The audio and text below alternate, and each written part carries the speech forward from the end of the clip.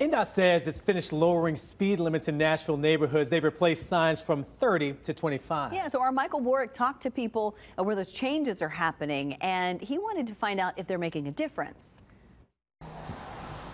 Without sidewalks in her Rayon City neighborhood, Connie Roeder, out for a walk with her dog Stogie, has to be extra aware. We've nearly been hit on more than one occasion. She lives on Keaton Avenue, one of more than 300 streets in Nashville's General Services District where the speed limit is dropping from 30 miles per hour to 25. Connie's seen people do 45 to 55 regularly.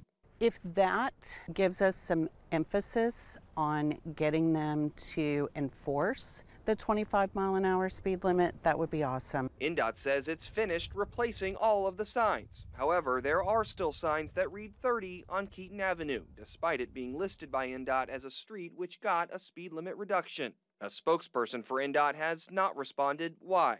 Nonetheless, Connie is happy to see at least a few new signs because speed has been a problem. We have a lot more families with children pushing strollers, we have a ton of people walking animals in this neighborhood, and it's frightening. The National Association of City Transportation Officials reports lowering the speed limit can cause a 28% decrease in the number of pedestrians who are hit by cars. Especially in a neighborhood like this, we don't have sidewalks, so we're going to have to rely on ourselves um, to be aware and to be cognizant of the speed limit and keep an eye out for pedestrians. NDOT says it's replaced about 2,500 speed limit signs, which it calls a first step in calming neighborhood traffic. Connie hopes the next step could be speed bumps, helping curb a speed problem she fears could get someone hurt. Michael Warwick, WSMV 4.